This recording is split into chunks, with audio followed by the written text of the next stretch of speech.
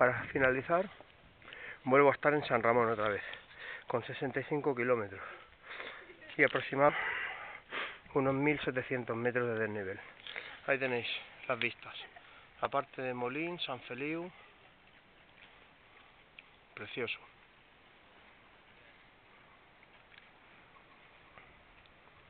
Y ahora ya me voy para abajo. Una salida de calidad. Venga, guapos. Un saludo.